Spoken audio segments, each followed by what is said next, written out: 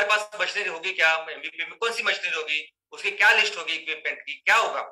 तो दोस्तों, एक आप समझिए एमवीपी का क्या रोल क्या रोल है? क्या करने वाला है? तो एमवीपी हमारे गाँव को बढ़ाने वाला, आगे लेके जाने वाला एक इंजन है। एमवीपी एक ग्रोथ सेंटर है। एमवीपी हमारे किसानों को क्या करना चाहिए, क्या नहीं करना चाहिए, मार्गदर्शन करने करने वाला केंद्र एक ट्रेनिंग सेंटर है। या हम लोग बताएँगे कि देखो एक नेपियर घास ऐसे उगाना है ऐसे आप करिए। ये क्षेत्र, ये पशुपालन ऐसे होगा, आप इसको करिए। ये ऑर्गेनिक फ़ार्मिंग ऐसी होगी, आप इसको करिए। ऐसा एक एमवीपी सेंटर है। एमवीपी वो सेंटर है कि जहाँ हम लोग हम लोग कहते हैं कि हर हर किसान, हर फैमिली अपने आप में एक उद्योजक है एंटरप्रेनर है। और वो वो अपना बिज़नेस ज़्यादा से ज़्यादा कैसे बढ़ाए, ये सपोर्ट करने वाला वो सेंटर है। क्योंकि अगर मेरे ग्राम पंचायत, मेरे गाँव में ये एमवीपी है और मेरे पास इतनी ज़मीन है, नहीं है, मुझे ये हस्तकला आती है, नहीं आती, जो भी है तो कैसे मैं अपने आप को डेवलप करूँ? कैसे मैं अपने फैमिली का इनकम बढ़ा कैसे मेरी ज़मीन से ज़्यादा से ज़्यादा इनकम मुझे मिले? इसके ऊपर, इसको प्रमोट करने वाला काम है हमारा एमवीपी हमारे गाँव में बहुत सारी ऐसी चीज़ें कि जहाँ रिसर्च की ज़रूरत है, जहाँ नवनीकरण, नूतनीकरण की ज़रूरत है, इसका भी हमारा सेंटर है एमवीपी एमवीपी हमारा एक बिज़नेस डेवलपमेंट का सेंटर है। सिंपल हमारे गाँव में बिज़नेस अच्छी तरह से डेवलप करना है, जो जिसका केंद्र बिंदु, जिसका फोकस है अपना खेडूत, अपना किसान, उसको लोग कैसे ज़्यादा से ज़्यादा बिज़नेस हम लोग करें, हर एक इंच से, उसका सेंटर है एमवीपी इसीलिए ये मत आप सोचिए कि अगर हम लोग हर ग्राम पंचायत में बोलते हैं कि सौ से डेढ़ सौ टन, डेढ़ सौ टन, उससे ज़्यादा भी, क्योंकि इतनी उत्पादकता है। नेपर घास की सौ हेक्टेयर भी आपने करे तो कितना ज़्यादा? तो डेढ़ सौ टन अगर हर दिन आपके एमवीपी में आएगा तो कैसे होगा? वो कैसे काम करेंगे हम लोग? तो आपका सेंटर सिर्फ़ बिज़नेस ग्रो करने का सेंटर है। वो जो रॉ मटेरियल चाहे वो नेपर ग्रास हो, चाहे वो दूसरा ऑर्गेनिक की फ़ार्मिंग हो या बाकी कुछ हो, ये सभी चीज़ वो सब फैक्ट्री प्रोसेसिंग वो सब देख ले, वो अलग होगा आपसे वीपी से। ये हमारी एक स्कूल है। एक वर्शिप सेंटर है कि जहाँ हम लोग आगे ज़िंदगी में तरक्की करने करने वाला एक सेंटर होने वाला है। Zero waste gram panchayat. इसको भी लेके लोगों को लगता है कि कचरा, हमें पूरे सभी सभी गाँव को कचरा मुक्त करना है। बहुत बहुत बहुत राइट करेक्ट हमें हर गाँव को कचरा मुक्त करना है। सिर्फ़ सॉलिड नहीं लिक्विड गैसेस सभी तरह के कचरे। मैं आपको कचरे के बारे में भी एक बहुत अच्छा प्रेजेंटेशन दूँगा और बताऊँगा कि कचरा क्या होता है। और हंड्रेड परसेंट हम लोग पूरे गाँव को कचरा मुक्त करेंगे, लेकिन दोस्तों, ये हमारी सोशल एक्टिविटी है बिज़नेस नहीं है।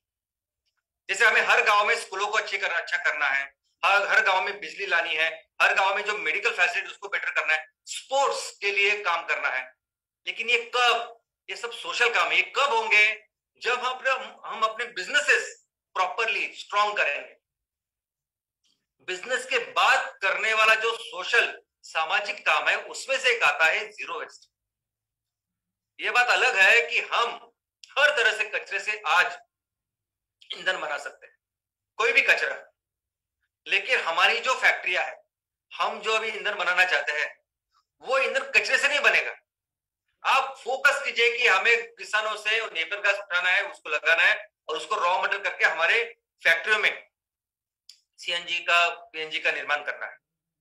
एक कचरे का बिल्कुल, एक कचरा हमारे लिए बिल्कुल रॉ मटेरियल नहीं। यानी जिस गाँव में, जिस ग्राम पंचायत में हम लोग बोल रहे हैं कि हमें डेढ़ सौ टन सौ टन, डेढ़ सौ टन हर दिन बायोमास चाहिए आई मीन करने वाले हम लोग। वहाँ अगर आप कचरे में जाएँगे तो आपको 500 किलो, यानी आधा टन इतना भी कचरा नहीं मिलेगा बिज़नेस के लिए। तो आप तो पहली बात तो ये कचरा और कचरे से ये सीएनजी बनेगा, ये बात बिल्कुल बोलनी नहीं है, बतानी नहीं है, अभी ज़रूरत ही नहीं उसकी। एक बार अपने बिज़नेस के ऊपर फोकस कीजिए, उसके बाद तो आपके यहाँ सिर्फ़ गीला ही नहीं, सूखा किसी भी तरह का कचरा, उसका हम लोग देखेंगे क्या करना है। कैसे हमारे गाँव को कचरा मुक्त करना है, लेकिन अपना बिज़नेस एक अलग है और ये जो सोशल चीज़ है, वो अलग है। इनकम दोस्तों इनकम के बारे में भी आपको ये समझना है कि कोई भी अगर इन्वेस्टमेंट करता है और उसमें से 20 प्रतिशत अगर साल को मिलता है तो बहुत अच्छी इनकम होती है। और अगर डेढ़ लाख किसी ने दिया है तो उसके अगर ट्वेंटी परसेंट तीस हज़ार रुपए अगर महीने को मिले तो इससे अच्छी बेहतर इनकम नहीं हो सकती। हमें बायोमास फ़ार्मिंग के लिए 250 रुपए पर टन आपके इस सेंटर सेंटर को मिलने वाले तो आप ही कैलकुलेट कीजिए। और करियर। दोस्तों, दुनिया में कई सारे ऐसे एग्जाम्पल्स हैं, जो अंतरराष्ट्रीय लेवल के ऊपर महान हस्ती बने। सिर्फ़ और सिर्फ़ उन्होंने गाँव में कुछ तो चीज़ की, गाँव से उन्होंने चालू किया। ऐसे हज़ारों एग्ज़ाम्पल है, मैं जो आपको देना दे सकता हूँ कि जिन्होंने अपने गाँव के ऊपर फोकस किया, गाँव अच्छा काम किया, वहाँ जो कॉन्ट्रीब्यूट किया, उसमें से वो अपने देश के प्रति अपने पूरे दुनिया में उनका नाम हो गया। और ऐसे कई सारे एग्ज़ाम्पल हमारे सामने हैं।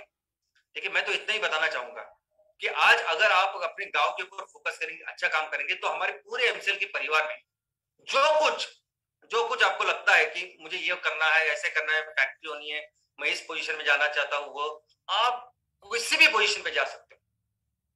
अगर आप अच्छे फोकस करके अपने गाँव के ऊपर काम करें कोई भी फैक्ट्री अगर आपको जो चाहिए, उस पोजीशन पे जा सकते हैं आप। हमारे कंपनी के सीईओ बन सकते हैं, ऐसे लेवल पे जा सकते हैं। ऐसी व्यवस्था आज हमारे पास